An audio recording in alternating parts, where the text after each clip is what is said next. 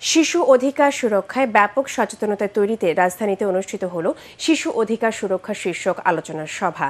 জাতীয় প্রেস ক্লাবে এই আয়োজনে এক রঙা, এক ঘুড়ি, স্বর্ণ কিশোরী নেটওয়ার্ক ফাউন্ডেশন, অপরাজয় বাংলাদেশ এবং গুড নেইবার্স বাংলাদেশকে নিয়ে গঠন করা হয় শিশুর জন্য ফোরাম। সেই সাথে শিশু অধিকার সুরক্ষায় প্রচারণায় লক্ষ্যে ঘোষণা করা হয় কনসার্ট।